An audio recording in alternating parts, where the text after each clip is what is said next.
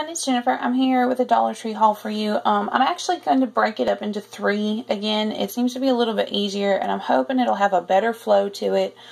And I'm also hoping, I know someone who brought up that my voice kind of goes in and out during the video and I think it's because I'm working in such a small space and I'm having to turn to grab stuff behind me and I'm not thinking about it. I turn my head away from the camera and so it's not picking me up. So I'm going to try and do it this way, see if it's a little bit easier.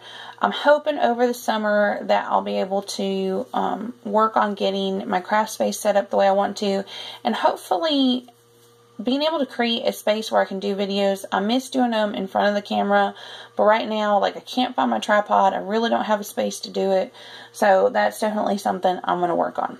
Alright, so for the first part of the video, this is going to be pretty much like food kind of items, so let me get into that. Alright, I know this is dog food, but I went ahead and included it in there. This is the Snack and Bone 2-pack in the lamb and rice flavor. Um, treats for dogs. These are going to be for my two dogs that are outside. Um, and I thought this was kind of cool. It's on the label if it'll pick up Brush Direct Incorporated Pet Products, a WBENC certified certified woman owned business. So I don't know. I've, just been seeing a lot of stuff like that recently. Um, I thought it was kind of cool. But this says helps control plaque and tartar through chew through chewing action. I was gonna say through chewing gum. I don't know.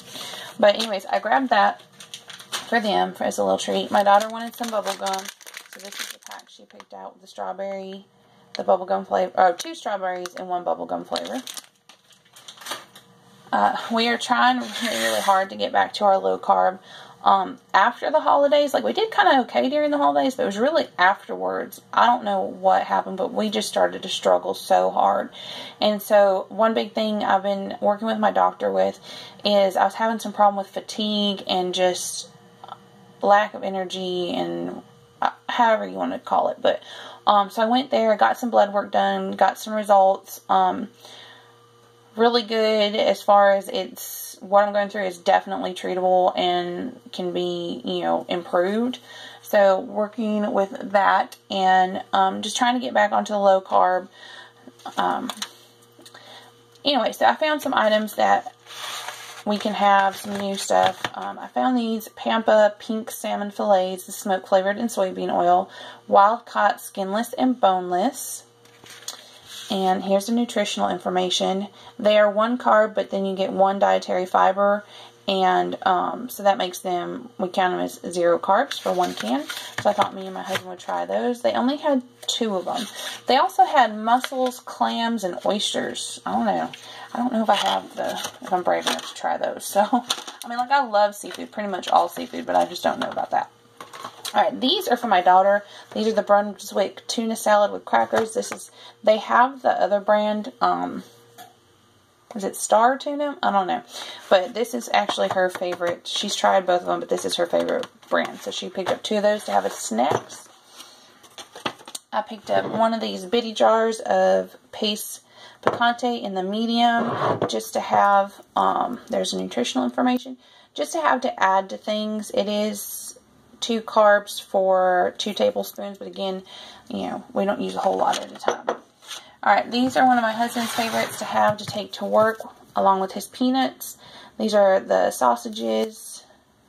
There's nutritional information on that. They're one carb per serving, and you get two servings in a can, so they're two carbs for a whole can, which is not bad at all. So I picked him up six of those. These were new, and I was really excited to find these are these little bottles of Frank's Red Hot. No, that's not it. There it is. There's nutritional information on those, so zero carbs. Um, I don't mind these little bottles. I don't know if they are you know, any better deal than the full size like in the grocery store. But we don't use a whole lot at a time. I may put a little bit on my plate for like if I have some chicken or something. And so um, these are a great size for me. They are dated March 19th, 2019. So I'll probably put one in the cupboard and one in the fridge and they will be perfect for that. And then along those lines, I also found two of these small bottles of A1 um, these are five ounces. The Frank's Red Hot is five ounces too. So Again, same idea. These are dated October 2019. These are, there's a nutritional label. These are three carbs. Um, but again, I don't use them that often. And with a lower carb meal, it kind of works out. So I grabbed those. That is it for my food haul. I'm going to go ahead and stop it here. And then I will continue with the rest of stuff. So thank you so much for watching. Hope you have a great day. Bye.